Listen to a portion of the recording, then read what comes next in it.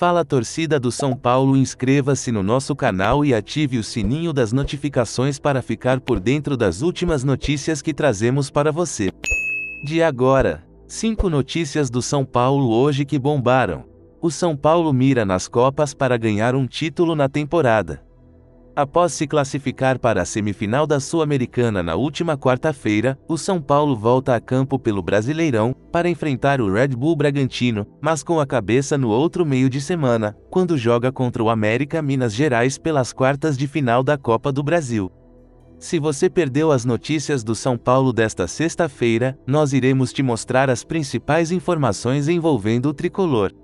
Esporte contrata ex-goleiro do São Paulo.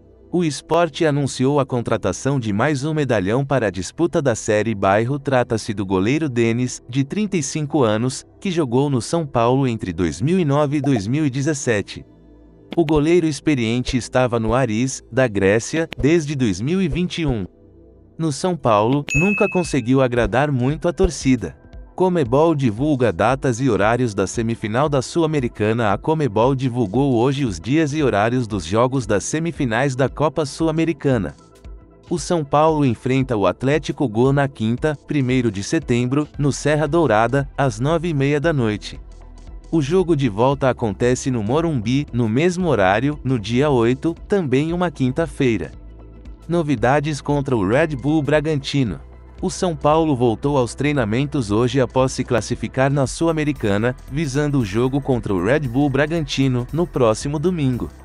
E o técnico Rogério Ceni deve colocar duas novidades entre os titulares.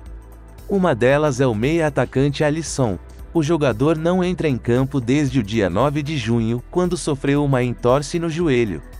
Desde então, o jogador ficou 17 partidas fora do time. Contra o Ceará, ficou no banco de reservas, mas não entrou. O jogador treinou entre os titulares. Outra novidade entre os titulares deve ser o atacante argentino Nahuel Bustos, recém-contratado por empréstimo. Quando chegou, o jogador fez um trabalho para melhorar a parte física. Agora, finalmente está pronto para estrear. Provável São Paulo, Felipe Alves, Diego Costa, Luizão e Léo, Igor Vinícius, Moreira, Gabriel Neves, Galopo, Alisson e Wellington, Luciano e Bustos.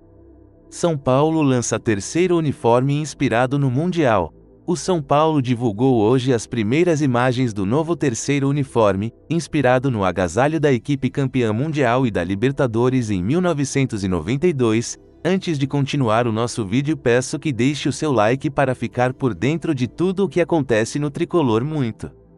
Obrigado. A camisa é em sua maioria preta, com uma parte branca, onde fica o símbolo.